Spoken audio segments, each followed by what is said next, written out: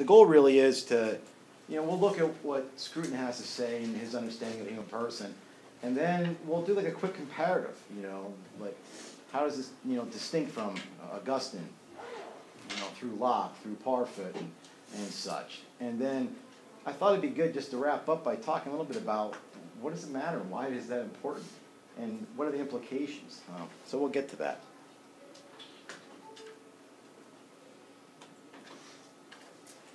Okay. So right off the bat, you know, it, it's a fair question to ask. Uh, in an empirical sense, what does that capture the human person? What do you think, like, just off the cuff, like, what are some of the limitations of an empirical understanding of the human person? How, how might that be a reductionist view? Anybody?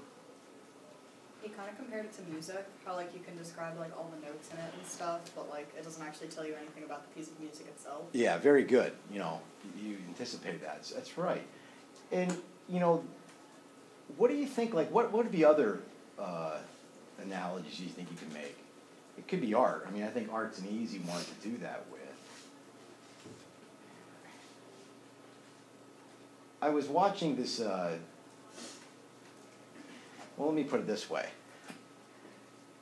You know, if first of all, you know, we can't go entirely black and white here. Maybe there are those people that reduce the human person purely down to the mechanistic views.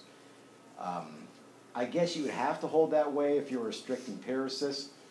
I think what happens on the other flip of the coin is that even if a person's not a strict empiricist, and you understand that you can't reduce the human person down to mechanisms in the same way that you could music, because you obviously would lose something, right? If we're only going to talk about the volume and the tones and vibrations and everything and how it affects our particular nervous system and how the chemical releases and such, you know, so there might be a, a materialist reductionist that would admit that, but then they're going to make all these things quite subjective.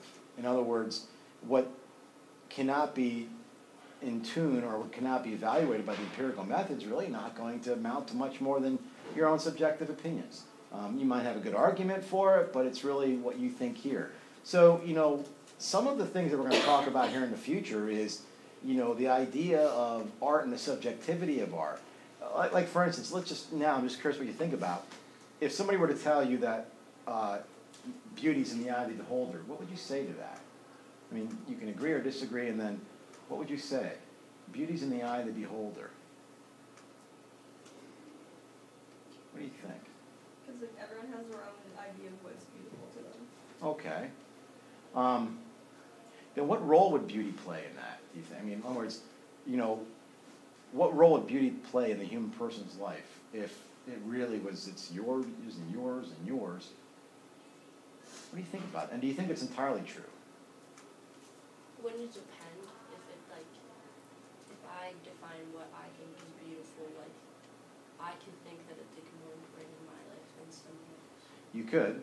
You're right. Um, that would still be subjective, though, right? It's what you think is beautiful and such. Um, I mean, it's true that physically we're attracted to different people, right? That's sort of good, right? I mean, you wouldn't want that kind of uh, log jam where everybody's after the same look.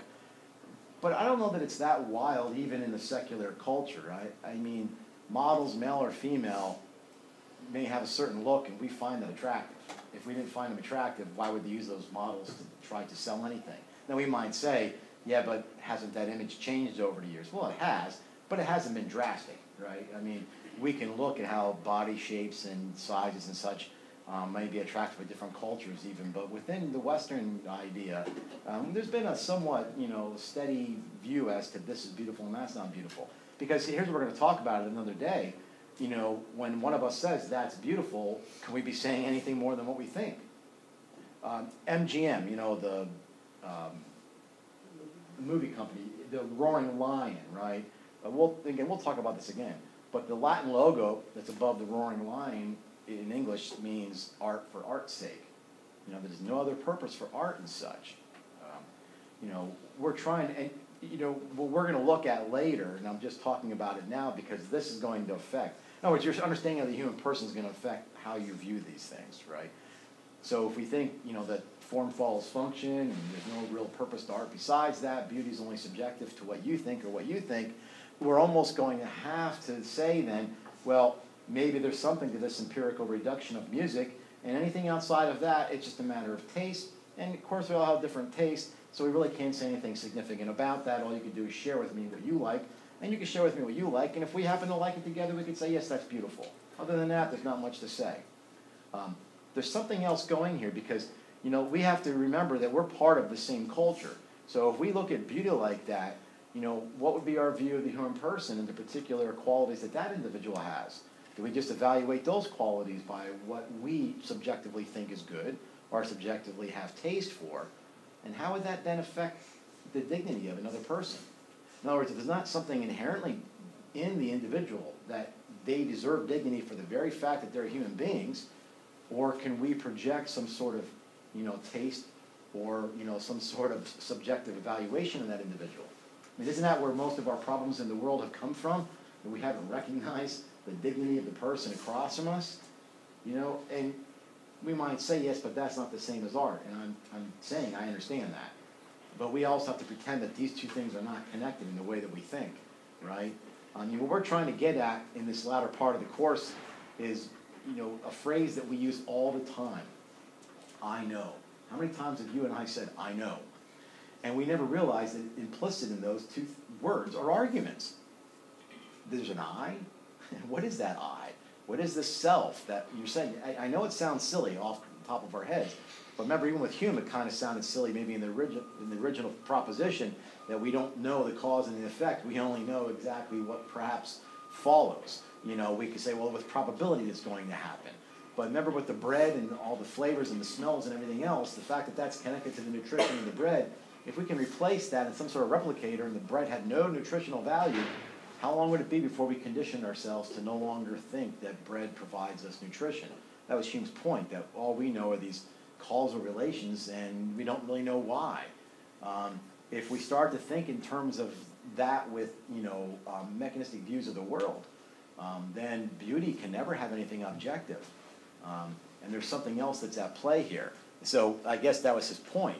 You know, do you want to break everything down to where it's nothing more than an assimilation of all these various things? Now, truth be told, you know, we have to watch and be very careful with the term um, mechanistic because it doesn't always just mean that we're identifying the parts individually from each other. It could very well be, and it probably does mean in very in a lot of different ways that we're looking at the whole. Um, but think of what fields you might be going into. Again, medicine, it's quite easy to do it. Anything in a care field, it's quite easy to do it. Um, you're trying, you know, you're always going to be caring for a person. It's something in medical ethics you try to drive into people's heads, but that's a person there. That's a human. That's not just a patient. That you're not treating a pathology. You're treating a person. Okay, well, but that begs something too. And then what does what does personhood mean? I mean, what am I treating? Am I treating a bundle of impressions? Am I treating just a collection of memories? I mean, what is it that I'm treating here? Um, we may not be conscious of all of these things in our mind. None of us are, even if it's my field. I don't walk around conscious of this all the time. But nonetheless, we have to understand that this subliminally, you know, fosters uh, an oppression of um, other individuals, and it gets easier to talk about if we can come to some sort of, you know, consensus per se. Um, let me see. He also talked about Daniel Dennett, right, and the levels of intentions and systems. Um, let me see. And what else did he talk about Dennett with? Oh, well, he even talked about in paintings, right? I mean, you could probably get a computer. In other words, how about this? You have a sculptor put together something, and then you have some sort of 3D printer, printer, you know, replicate it. Do we have the same thing in both of those? Um, are we just replicating somebody else's idea, and where did this idea come from? Um, anyway, I guess there's a lot here we could talk about. Um,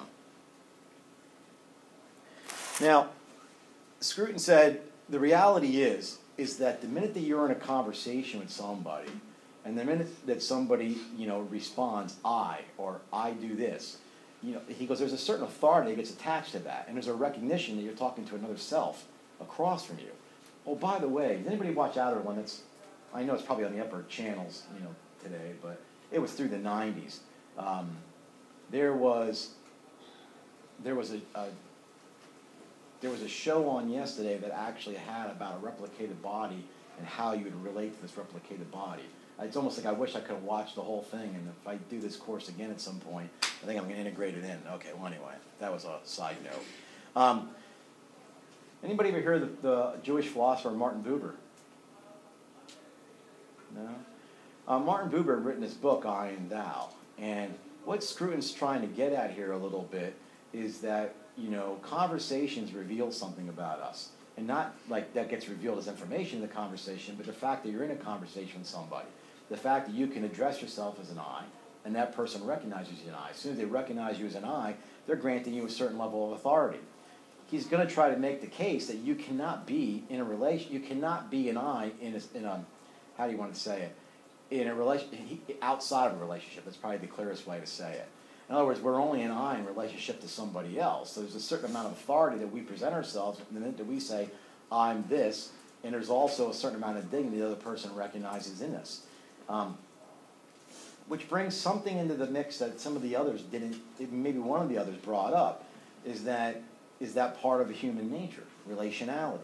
Um, we might start talking about our inclinations, the search for truth, relationality, um, the desire for something good, right? People are always trying to do some good, even if it's a perceived good.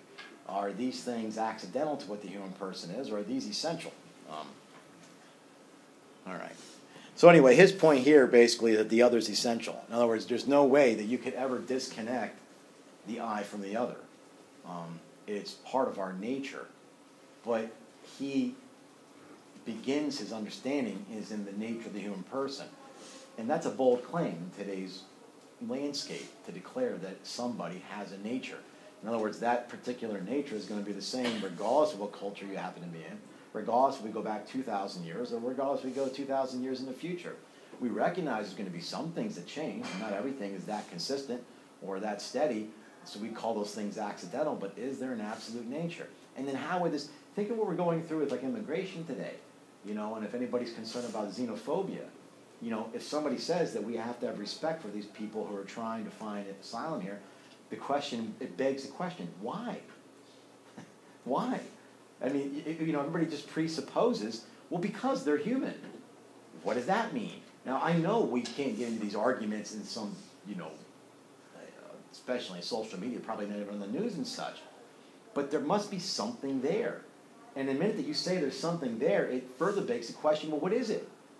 In other words, it ha- is it just a web of sympathy? Are they, they're shaped like us?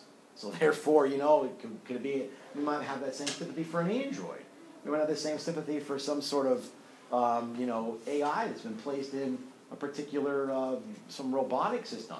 What's the difference between a human and those things? If there's something essential to a human, and we say that person has a particular dignity, then what's that based in? Um, you know, civil law struggles with all this stuff, right? Um, even if anybody goes into any sort of ethics, or if you're going in any field where you might be talking about animal rights, you're going to have to deal with this too. To what degree do they have animal rights? Well, they, they're self-aware. To what degree are they self-aware? Is that what you're talking about then? Is the human person a person if they are aware of themselves? And you say yes. Well, then what happens when we're not aware of ourselves? You know, I think even uh, Scruton talked about one of the challenges with people with extreme autism is that they can't recognize the other individual. And, you know, and it's obviously a, a defect that's you know biologically and you know chemically based in them but could you imagine, though? I mean, okay, not even equating the two, obviously, a person who might have sociopathic tendencies would have that same issue, but in a different way. They wouldn't recognize the other person as any relation to them. They're outside of them, it's not another me. So there is no I thou. So think of how many things in our particular culture are predicated on us recognizing another individual as another us. But, there's, but that flows off the tongue so easily. And unless you have a way to back that up, and say, well, what do you mean? First of all, you said another us, so that you must believe that there's an I. And if that's another I, then what is this I? Who, so let's go back to I know. Who is that particular person? We usually skate over these things because we don't, we're not extremely self-reflective, or if we are self-reflective, we don't quite know where to go. Where do I go for this information? And once I do find the information, how do I know that I'm on to something, right? Um, a way to do it is, you know, you can almost look at your worldview and say what's necessary, what human person, what type of human person is necessary for this worldview. And then if you say this and that, what implications would that have? That's why we're going to look at it at the end. Because these all have implications, wherever a person falls on this, right? Anyway, Okay, so remember Augustine, everything was about God and man. He, he couldn't even envision that a person could talk about this I or this self without a God. Um, as a matter of fact, he thought that not only would he learn something about God by knowing him, but he, by knowing himself, he would also know something about God because he believed that the human person was made in this image. Um, so everything for him was inner reflective, right? He didn't, you, you should see a very stark difference between Augustine and the ones that followed. There were no elaborate, um, you know, proofs that he had to kind of, you know, bring up and be clever with. Um, no thought experiments necessary. It's me and my God. Um, remember, he also said that in the same way, you know, that light comes from the flame, so too then, you know, that's the relationship between the soul and the body, right? Or the soul and even, let's say, even the intellect can be inflamed by that. Not to reuse the word and such. So you couldn't imagine these two that are ever separate, okay? Um, that was one view. Now, what I, what I would have done if this were like a longer course, because I know it probably sounds odd, but you can, you can easily take a course just on this. I actually have a graduate degree just in this. I mean, the whole graduate degree is, you know, um, philosophical anthropology. How do we understand the human person from a philosophical point of view? It, eh, I was going to bring in a couple books just for demonstrative purposes to show you just in short spans of time how much writing there is trying to figure out the human person with, you know, just maybe the medieval period or um, in the Romantic period of the late, you know, 19th century and such. You know, when people are trying to drive down and say, what is this? Um, because it really forms the basis of our laws, our relationships. There's hardly anything outside of our world. This is, I mean, in other words, I think on a certain level, this could be, once you've come to a conclusion on it, the most practical thing that you do because you become very principled. And the idea about forming principles of the human person is then we're not all over the board. Um, so it's kind of like we once we've determined this, we then apply it, and then we have to take you know our lumps and we take the good how wherever it falls, that kind of thing. So that was Augustine. You know, then if you remember John Locke, John Locke placed everything in the consciousness of the human person. That was what we call the self. And the self really was the memory. So he kind of conflated the word consciousness and memories. And the, the transitivity of it was that, you know, if we knew how we were the same person over the years, well, because if A was like B and B was like C, then the theory holds that A must be like C, or bring it back, C must be like A. So that was his theory, and this was the beginning of modern personal identity. Um, part of what I, you know, I see in this, the way that I was presenting it here, is we're starting to conflate, and some people do, um, personal identity with human personhood. You know, some of these things, I think, as we talked about before, weren't exactly essential uh, to the human person, but nonetheless, they still became advent um, to what the human person could become. Um, but nonetheless, any questions on Augustine or Locke? And then I'd be interested at the end what you think. I mean, so start thinking about like which of these have an appeal or what your issues are with them and what you actually think the human person is. And you could be uncertain. That's quite all right. You can have a good idea, but you're not quite sure what all the implications are. That's quite all right too. Okay, so um, Bernard Williams, if you remember, was interested in you know how do these um, memories, past and future, um, indicate who that we are. And remember, he had the thought experiment of torture. So if you had, you know, memory A going into body B, or then of course the other one would be reversed to body A, and you had to pick who's going to get tortured in the future, you would probably pick the body where you think that your memories and consciousness is going to go into. So he's trying to make the point that there's some connection there. Um, so, you know, we have to start asking then, and, you know, I think he did too, that yes, our memories past are obviously part of ourself and the presence, of course, but, you know, somehow these will then contribute to the future too. So we start to ask questions like that. But he thought to strictly ask questions like that was almost egotistical, right? I mean, most of these guys were, were either tied into bioethics or just ethics generally. They were trying to figure out, you know, how does this apply? Um, and there's a lot of people that we didn't get to, a lot. And then Derek Parfit, remember, he had that almost Buddhist like understanding of the no self. So, all of the features that we would call human, all the characteristics, you name them, if you could abstract them in a better word to understand it, if you could peel them away, And if you just keep peeling away all the variety of these things, you're left with nothing. It's a no self. So that is all it is. So it's almost like a bundle of all these things. So in the future, we're not worried if like if we could take your consciousness and put it into a future body and then we'd say, Do you survive? That's not the question he asked. He said, that's almost egotistical. Don't worry about that. More or less. So rather than the transitivity, you know, of say Locke, where A is B, B is C, and then therefore C is A, he's saying, look, some of B is A, some of C is B, therefore some of A is still in C. And he's okay with that, right?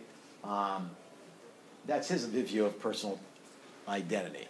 And then finally, Marya Schechtman, remember she said it's really where we place the emphasis, or she, I'm sorry, she thought that the people that had come before her either placed too much emphasis on memories that we were uh, unconscious of, like not thinking that those are important, or they overemphasized memories that we're conscious of. So remember, I gave you stories of, well, the one I did from Everybody Loves Raymond. He had no idea why he touched food to his chin.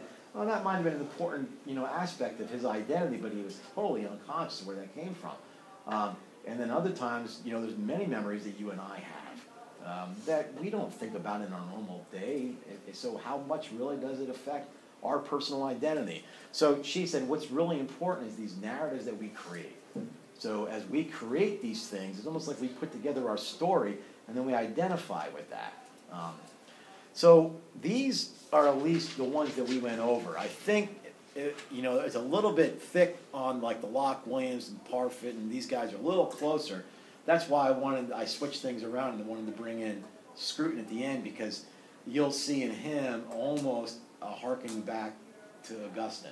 He's starting to talk. There's got to be some nature there, and if you there's other there's plenty of videos that he puts out, actual videos where he'll talk about the nature of beauty and other things and how those things affect all of our um, our understandings. So, what do you think about any of those? I know we're getting close. Everybody going home tomorrow? Are you? Yeah. Are we skipping classes tomorrow? Yeah. You can tell me. I don't care. right? Um, okay. Now, here's the thing. Scruton makes the point that most of our interactions are based on an understanding of freedom.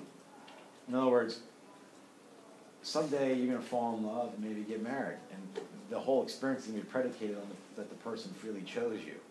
Um, somebody might say, "What about an arranged marriage?" Well, you know, even, even those are somewhat, you know, chosen, right? Um, I mean, unless it's an absolute forced thing. My grandparents were were arranged marriages, and I had a friend um, from India. Him and his wife were an arranged marriage, and he's only my age, right? Um, I remember telling him, I said, but you know, don't find me, you know, snarky, but your wife's beautiful. And he says, yeah, but it wouldn't matter. he said, you know, but in my grandparents' case, you know, that wasn't the case. This, this new idea that you fall in love and get married, it wasn't part of the idea. And if you read even like studies, like I do a lot with human sexuality, there's like an underlying joke that um, us choosing our own mates, we're not doing as well as the parents choosing them, you know. Maybe our young self just aren't figuring what's best for us, but that's other stories. But if everything's a biological inheritance, how do we hold anybody responsible for something? I mean, every time that we're in conversation with somebody, hey, I'll see you later and I'll meet you at whatever, I'm going to go out to eat here. You know, everything about our relationships is predicated on the fact that they're all freely chosen. Um, even in our legal system, you know, people do things that they, you know, go against cultural norms. We can argue all day about where we've developed these norms for, from, but the reality is, is that how do we call somebody bad or, you know, guilty? To what degree? Did they really have control? I mean, we try to mitigate that in our, you know, system, don't we? I mean, to a certain extent, like even in, like in, you know, flat out homicide, you know, we think, well, if it was a crime of passion, that's not as you know, intentional as somebody who premeditated. So there has to be some sentencing considerations for those individuals. So you see right away, we know that there's an issue to that. But what if we really said that, you know, this bio, and, and let's, let's, let's forget if you have all free will. Let's realize that how many times it, it matters in our lives where you were born, your region, the country you're from, the socioeconomic status. And we all have, we're not all equal. I mean, we're all equal in dignity, right? We're not all equal even in biological inheritance. Uh, they talk about, um, I know this is a little more psychology, but they talk about birth order.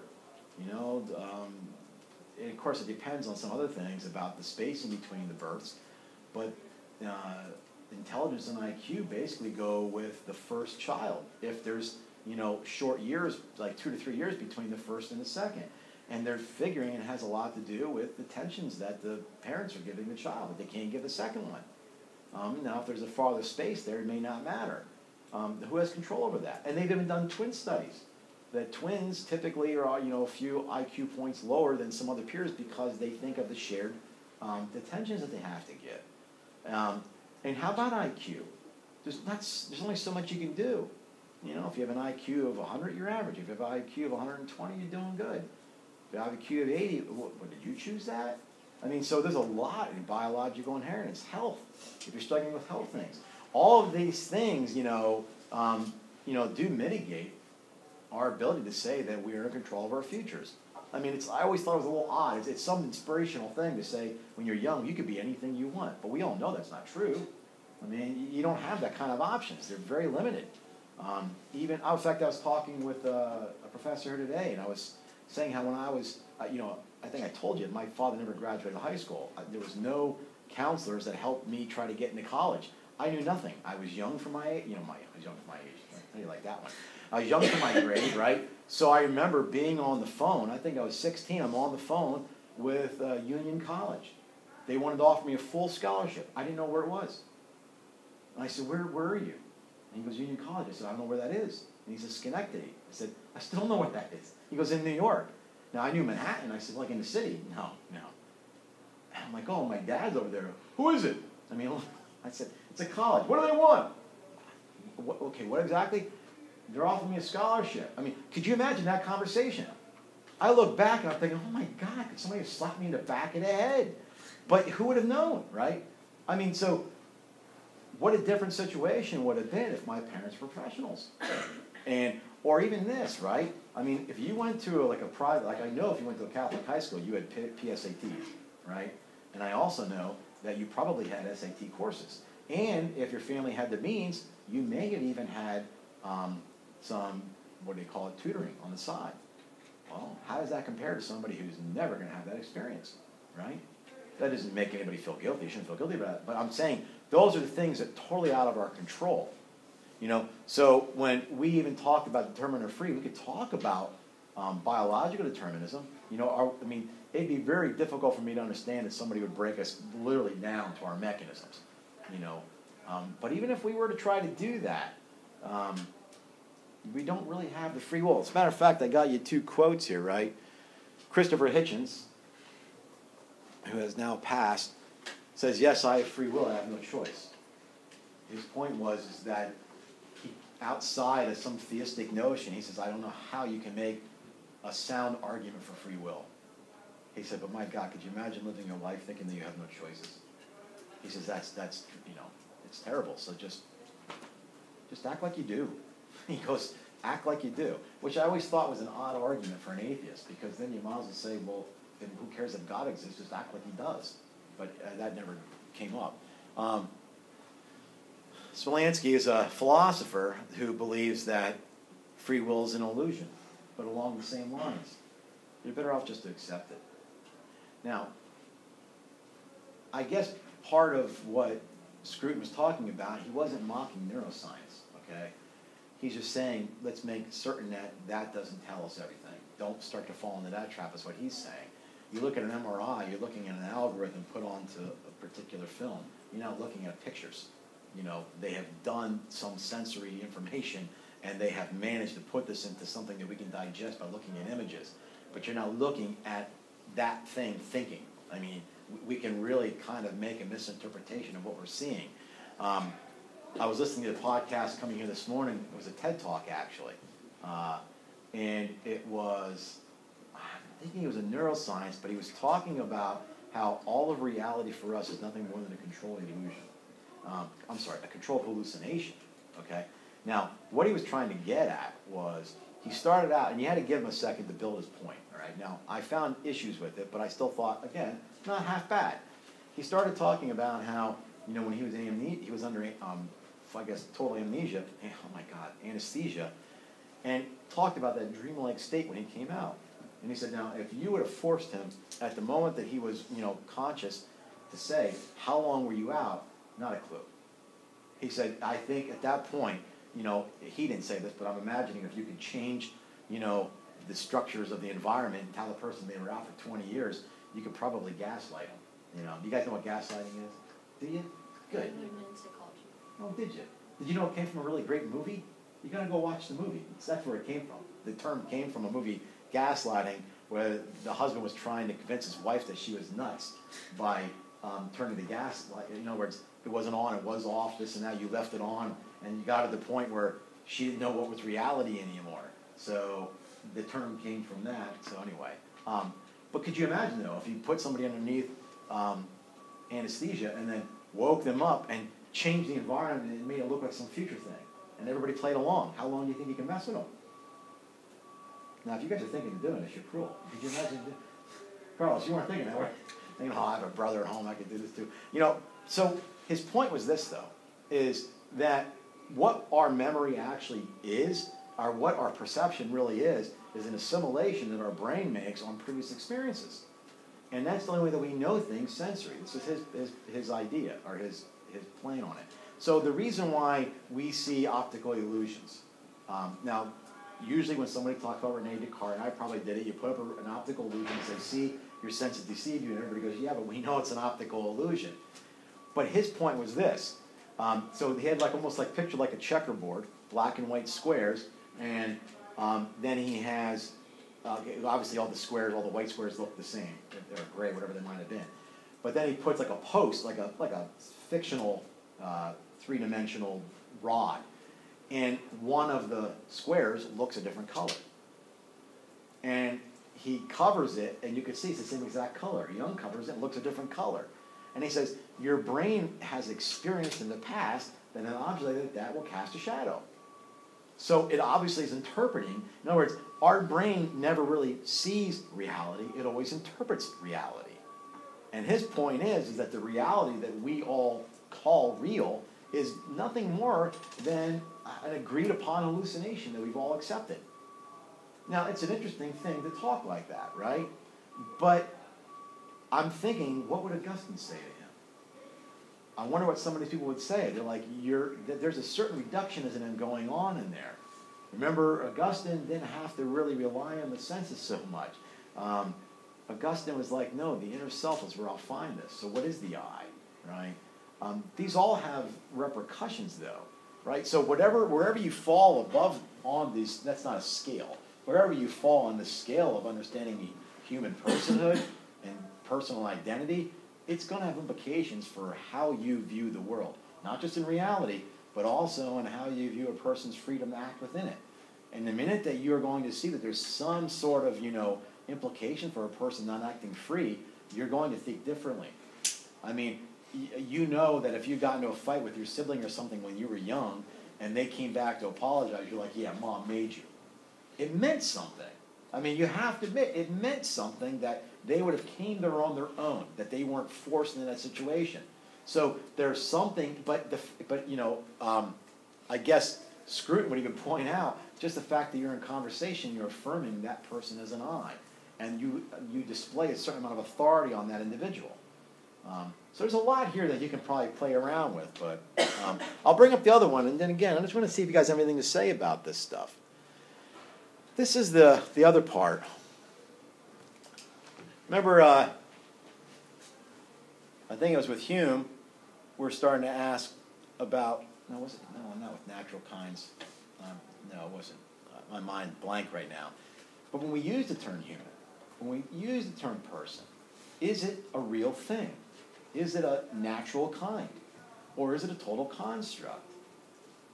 Is it a term like lithium that we may argue is what it is, and if we change something there, it's no longer lithium? Well, what then?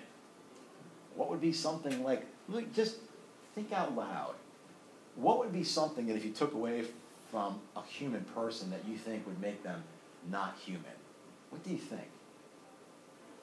And you don't have to worry about being consistent, and I don't care.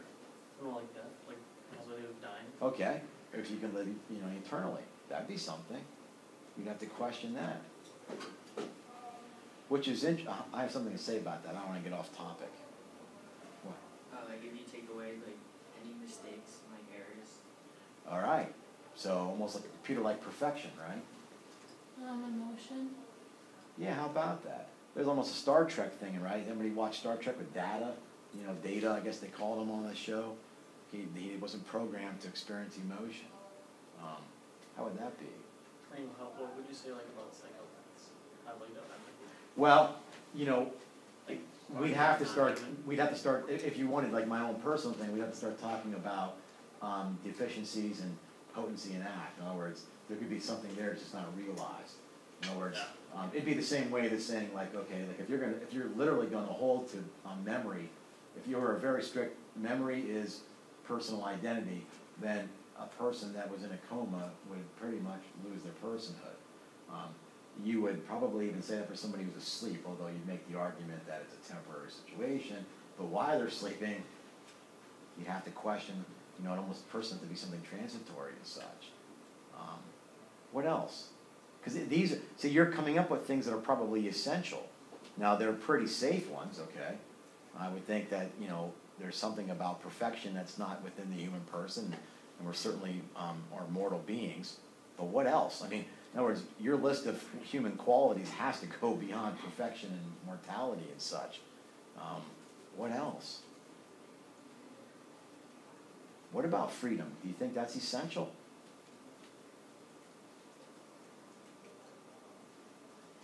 I feel like it's essential to at least like have the belief that you have freedom. Yeah, okay. It's safe, but it's also not a half bad response, right? That would be a Daniel Dennett response, just, you know, live as you, though you do. Although, you know, I think on some level, you'd have to admit that if you were conscious of it on a regular basis, it'd have to have an effect on relationships.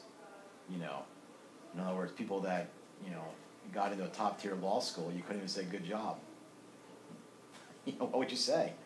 Um, I guess if we had all the criteria, in other words, the only reason why we can't make sensible predictions about a person's future is because we don't have all the available criteria. If we had all the available criteria, we can lay your life out in front of you.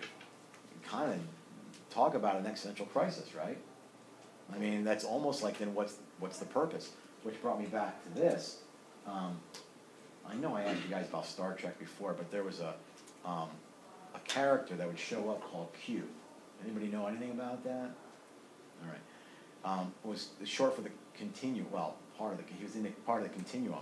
They were these absolute beings. And he would show up on Star Trek, and this was Next Generation, he'd show up every so often, just to kind of like tantalize and such.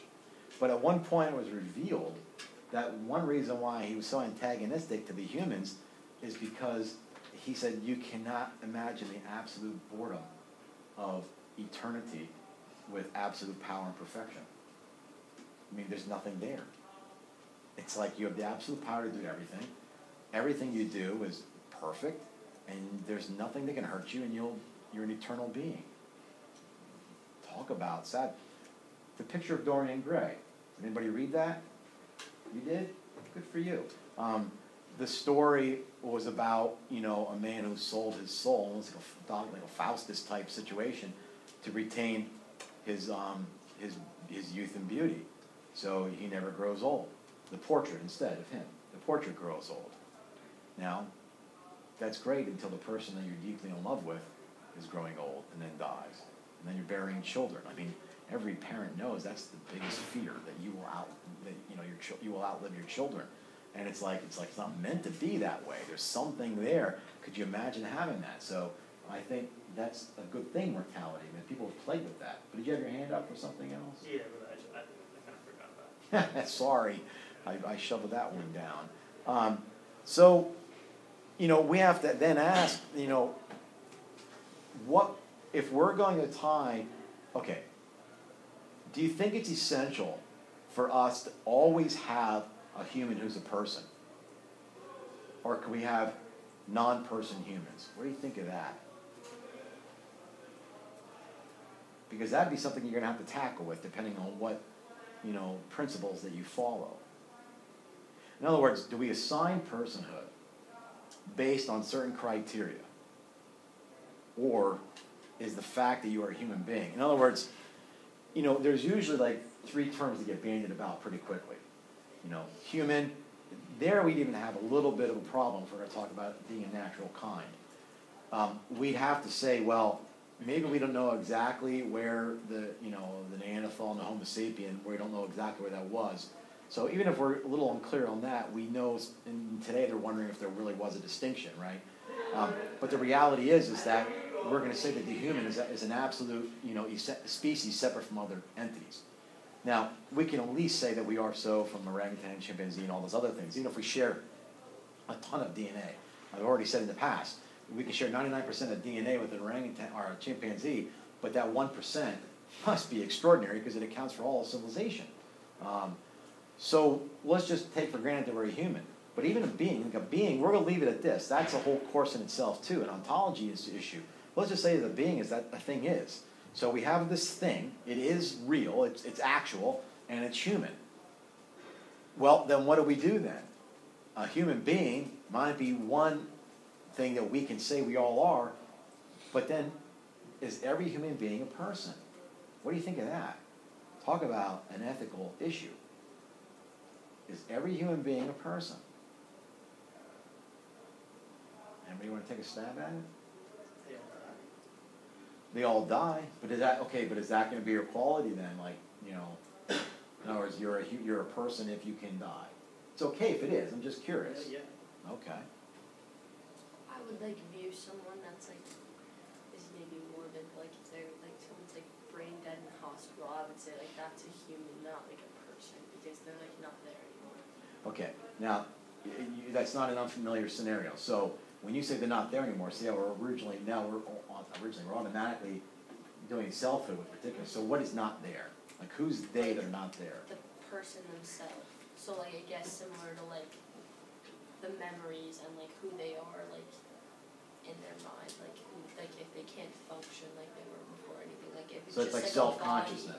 Yeah, if it's just like a body, then that's just like a human, but like a person has like their personality, their memories, their like selfhood.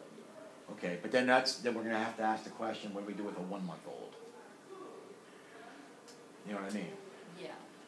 Now, I'm not saying that that defeats your argument, I'm just curious, like, what would you say about that? Because, you know, anybody that talks about, like, issues of, like, the of ethical issues of life, I'm talking all the way from abortion to euthanasia, any of those things, uh, um, uh, live organ donation, I mean, we, I can come up with all the scenarios. You have to have some understanding of the person that's going to fit at both ends, or a reason why you're changing. You can say, well, no, I believe it here, but it changes there. You can say that too. Can we kind of tackle the argument of the one month old by saying like a person who's in a coma has less potential to live than a one month old in terms of self awareness. So they're like, less of a person. Sorry? So are you saying they're less of a person, or? No, no, no. Like okay, so like there's like she argued that it was consciousness, and then he said like, oh, what about a month, one month old? But in discerning a person who's in a comative state versus a one month old, one has less um, like potential to continue living versus a one month old who like in a few months he'll know who he Okay, is. no, I think I understand it, but I'm, what I'm trying to get at is if she said that that person's no so longer he, like, there. You could you could count the one month old as a person, right? Uh, because he has the likely possibility, uh, the highly possibility of I- becoming a person I when he's conscious versus someone who's in a comative state where likely they're not gonna never ever wake up. Okay, okay, okay. Or like if they're just living off like like a ventilator. So there, there's some idea that, you know, so future aspects then come into it, Yeah. I guess to some degree. Yeah. I guess somebody would have to play around with like, uh, what, how much future aspects, how much percentages and such, you know. Um, I mean, I'm not, I, I'm thinking out loud. Like if I were in a conversation with somebody about this, those are the things I have to start chopping at. What do you, where exactly does this, like, should we then, what if the person, um, okay, how about like, um, a Terri Schiavo, are you familiar with that particular case? Terri Schiavo, um, was on a feeding tube and, um, but other than that, was breathing on her own, but no consciousness. and like that for a long time, and her husband one took her off of life, off of the feeding tube. Her parents tried to keep her on, but lost the battle because, you know, I mean, most in, in civil cases, the closest relative gets that particular choice. But they were concerned with his motives because he was already seeing somebody else. Um, but, so she was basically starved to death. Um, now, I don't think they had any brain activity they can necessarily measure, but the person, um, wasn't able to swallow, but able to breathe, and she was able to process nutrition on her own. Um, but you would, but they were there for a long time. Now, we'd have to, that probably would not defeat anything you just said. We'd have to almost bring an, an incident in, and I don't like the thought experiments, but I'm thinking of real life scenarios where somebody was in a coma and not expected to live, but then did. We'd almost have to say that they regained personhood. What would you think about that? And I'm not playing gotcha, I'm just asking questions. Yeah, it's possible. Okay. Yeah. I would kind of say that like that would be scientific anomaly, like you know if like Yeah, it is an anomaly, there's So, no like, doubt. if we're trying to do something that's kind of general, then that would be like it's impossible to do something that'll be hundred percent certain. So if we're trying to get to that ninety nine point nine, then there's always that point one chance where like the dude will survive. Yeah.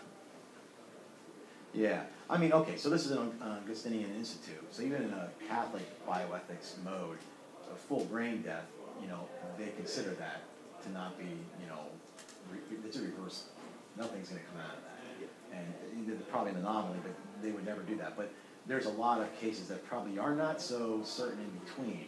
Um, that, you know, but nonetheless, all we're trying to do here is develop a principle, like what would they constitute. also there's like also protocols that you have to give like at least a few weeks before Yeah, turning it off, like to be very sure. And like, there's sometimes um, false regressions where like, patients have they're in coma and they wake up and they're great for like a week and then they go back. Yeah. Now, I, now, you're right, now I guess though, you know, the only thing I'm trying to drive at here is, at that point, we're almost determining that the person's tied to the consciousness. And you're gonna have, you- like, you're making the argument that even though maybe a one-month-old doesn't have consciousness, they at least have future potential. Um, or a higher potential. or higher potential. I guess the only, the only fissure in some of that is who determines these things, you know what I mean? That, that gets part of the problem. But the bottom line is this, I mean, you can spend a lot of time debating all this stuff, and people do, and I, I do also, because it comes up in a lot of issues. Um, but the reality is, is if it all seemed like it was a little bit of an academic exercise, in the end, it has a lot to do with our relationality, understanding of free will and agency, our understanding of who this human person is and where the dignity comes from. Um, from a social justice standpoint, if you stick with the human person, a human being is always a person, then you, and except for extreme cases, you know, you can make pretty good cases for everything from immigration to euthanasia, you know, but anyway,